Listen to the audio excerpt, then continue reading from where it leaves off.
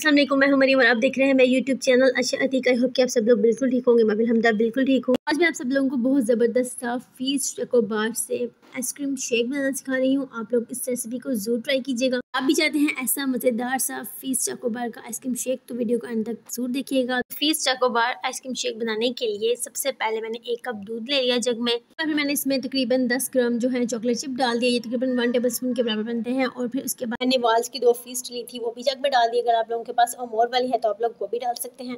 इस ice cream shake को ज़रूर ट्राई कीजिएगा यकीन करिए बहुत मज़े का बनता है। अगर आप मेरे चैनल पर न्यू है तो मेरे चैनल को सब्सक्राइब कर दे, वीडियो को लाइक कर दे कमेंट भी कर दिया करें।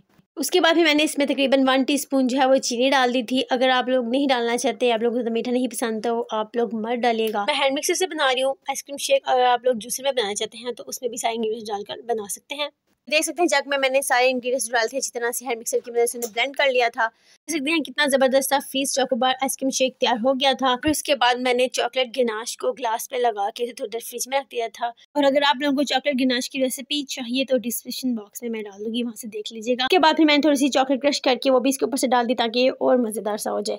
तो फिर यही थी आज की फ़ीस चौकोबार आइसक्रीम शेक की रेसिपी आई होप कि आप सब लोगों को ज़रूर पसंद आई होगी। अगर पसंद आई है तो इसे लाइक भी कर दिया करें वीडियो को और शेयर भी कर दिया करें। चैनल को सब्सक्राइब कर दिया करें। अगर क्वेश्चन करना हो वीडियोस के मतलब तो इंस्टाग्राम पे किया करें। और मुझे अपनी दुआओं में याद रखा करें। नई वीडियो में नई रेसिपी के साथ। अल्लाह हाफिज़।